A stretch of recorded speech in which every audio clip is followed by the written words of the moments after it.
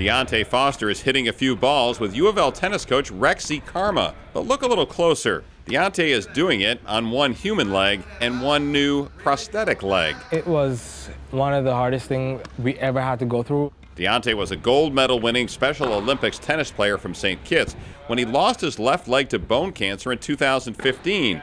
Dr. Matt Holder from Louisville's Lee Specialty Clinic heard about Dionte's plight and enlisted the help of Special Olympics, Louisville Prosthetics, and University of Louisville physicians to get Dionte to Louisville for a free sports prosthetic leg and care worth $61,000. I was on crutches the whole entire time until I got here and then I got a prosthetic.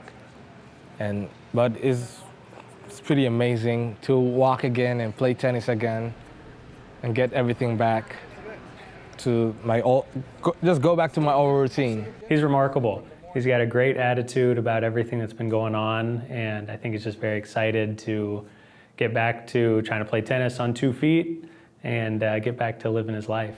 Dionte spent a few days in Louisville getting used to his new leg and starting the long process of, hopefully, returning to his glory days as a top flight tennis player on the Special Olympics circuit. Coach was, um, I was still like, I'm gonna come back. I, I really wanna play tennis because tennis means, it's, it is a lot, it means a lot, it means a lot to me and um, it, it's the only thing that can keep me out of trouble and um, be the person I am today, a person who cares and loves people and care about a lot of people.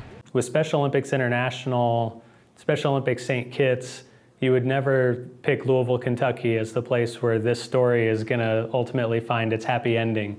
Um, but I think it speaks to the type of people we have here, and like you said, the, the compassion of the people, the willingness to help, um, not just in the university, but in the entire community. Thank you, Louisville. You guys are amazing, and I love you guys. You guys are amazing.